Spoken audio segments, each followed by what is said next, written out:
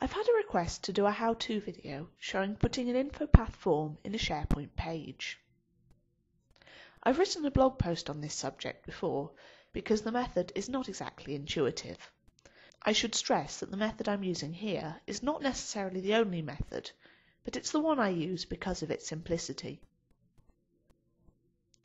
The first thing you must do is check that your form is browser compatible. By default, a form you create in InfoPath will be set to be compatible only with the InfoPath client. This is because there are some features that are only available in client forms.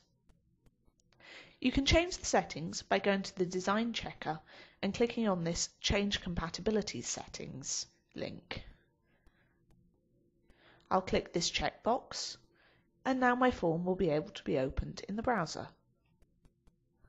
If I had included any features which were only available in the client forms, I would see an error message here, but I have no errors, so I can publish my form.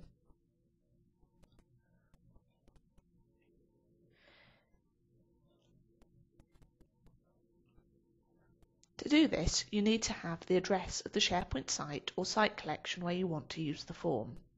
Now I can just click through the wizard there are different options for how to publish this form. In this case, I'm going to choose Site Content Type. This is because I might want to use the form with different sites or libraries in my site collection.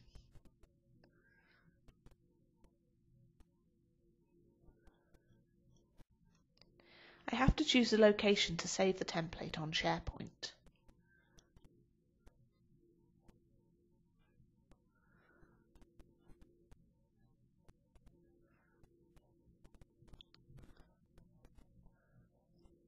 And then I can publish it. That's the InfoPath side of the process done with. I'll click on this link to open the form up in a browser and it will be displayed as a web page. All content in SharePoint has a URL associated with it, so what I'll do now is I'll copy the address of this form. Now I'll go to the page where I want to use the form.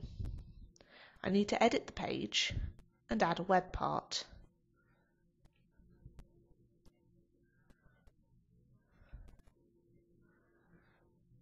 The web part I'll choose to add is the Page Viewer web part.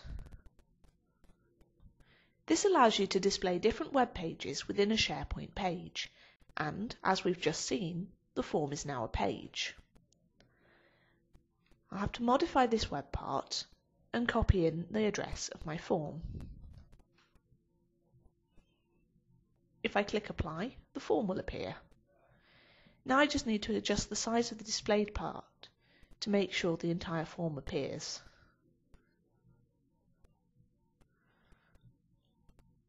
I click OK, exit edit mode,